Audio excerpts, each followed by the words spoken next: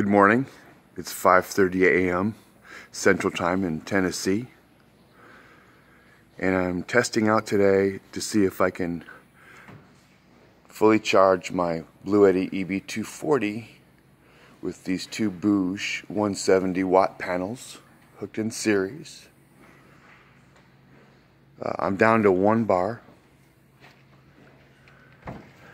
and we're waiting for the sun to come up. So right now, zero charging going on, clearly. Sun comes up right there. You can see it coming up.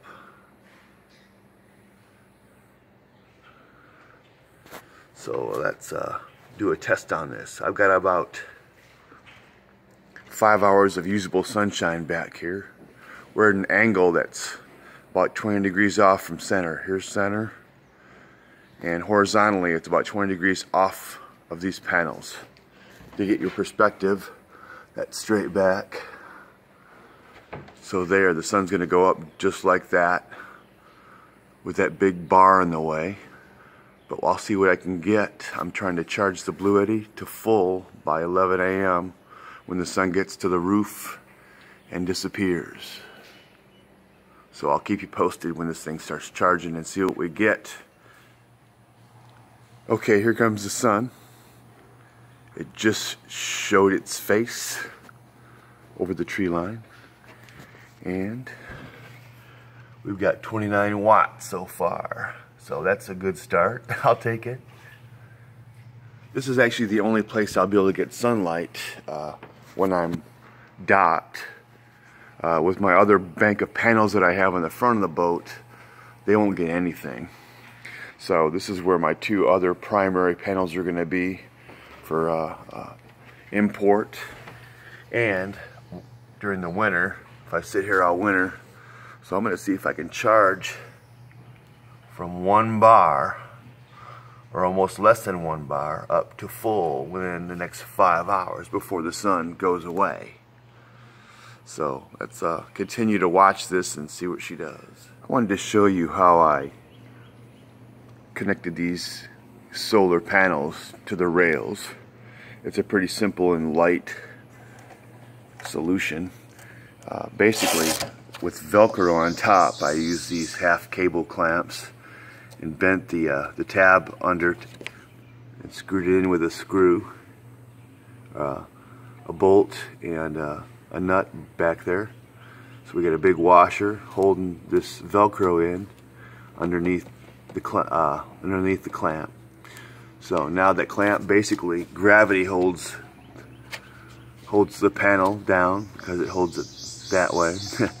and then as a secondary securing mechanism, the Velcro over top of that just kind of keeps it in place. So I've got two of those with the with uh, clamps and I've got one just piece of Velcro in the middle for a kind of a backup. On this tall panel, I did the same thing. I just have two instead, though, so those should hold. Now I can move these around easily. Undo the Velcro, take the take the panel, lift it up, just slide it onto the rails back there, or back there, or right there on the side, or on that side, or alongside down there. So wherever I have sunlight, I can move these two panels around the entire boat along with having a permanent bank up front that does not move. Okay, it's now 6 a.m.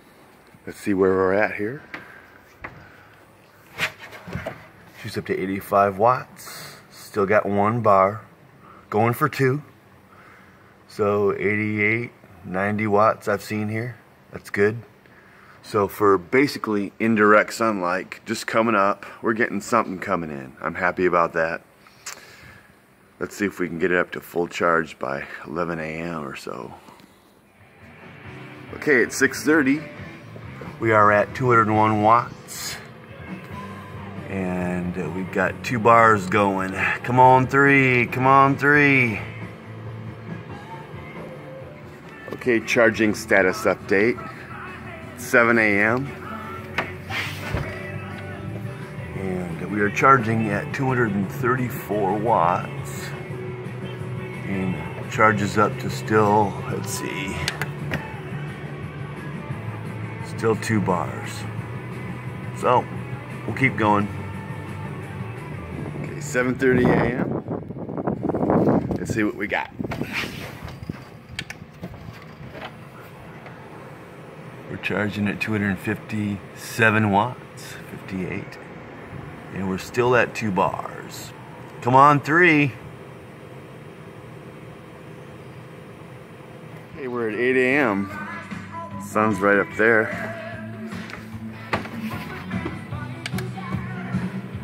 Charging at 254 watts. And we're up to still to two bars only.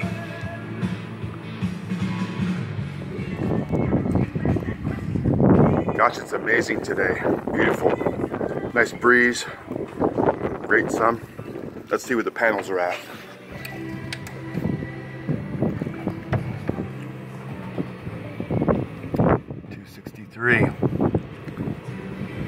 Still at two bars. Okay, it's 9 a.m. Let's take a check. 258 watts. Come on, 257. And we're at two bars still. Slower than I hope, but uh, I'm not too disappointed. It's it's still charging, so.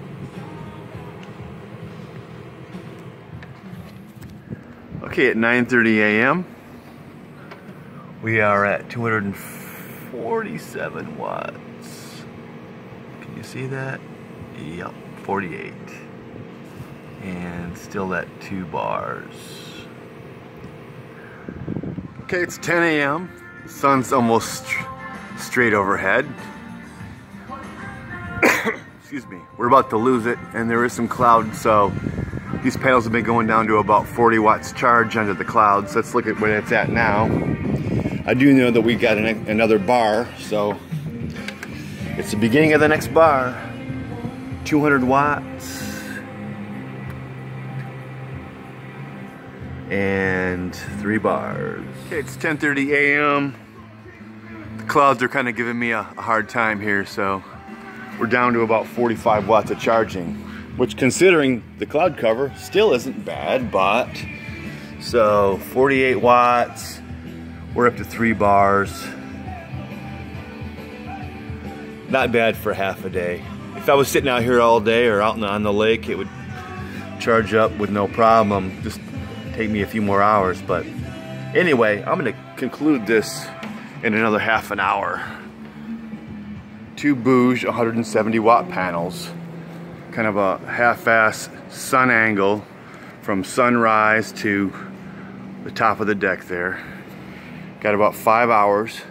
It's still charging, but it's down to about 40 watts, I think. Let's see, go look, 55 watts, 56. And we're still at three bars. So this thing charged about a third of the way in five hours in not great conditions.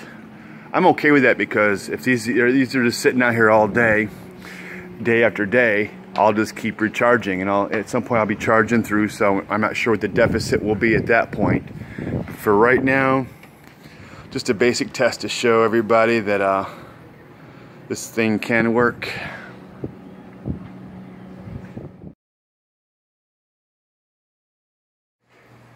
Okay, day two, 6 a.m. Let's take a reading.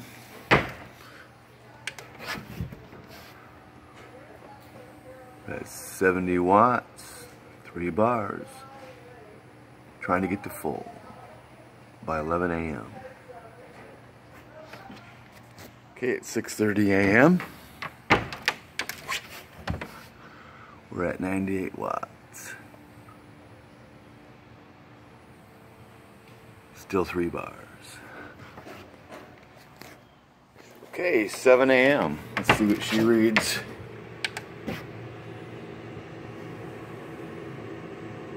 And eleven at three bars.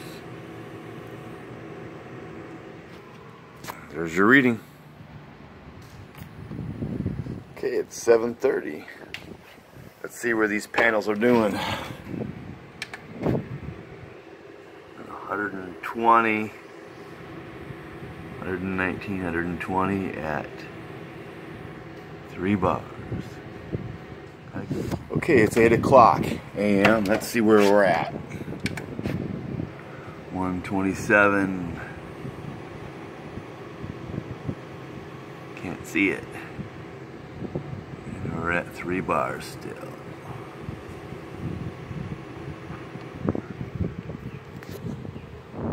Okay, it's 8.30 a.m. I think I had something hooked up wrong. So um, I was getting about 120 watts and it was really too low for this time of day.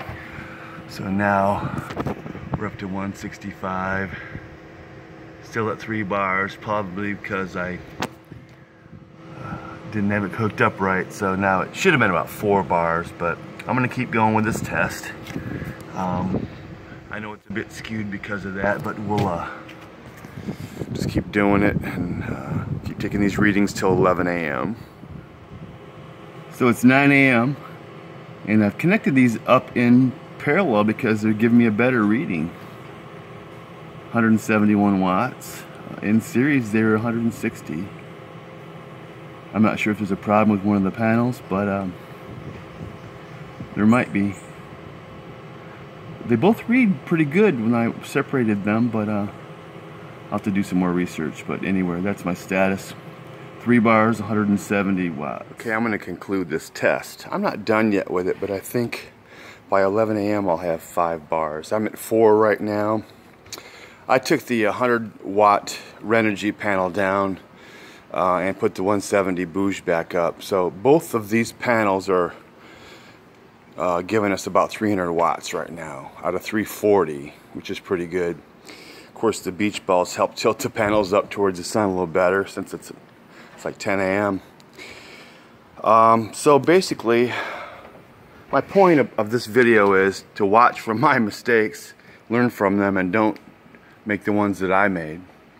Um, always double check things over panel. That's kind of a, a theme lately.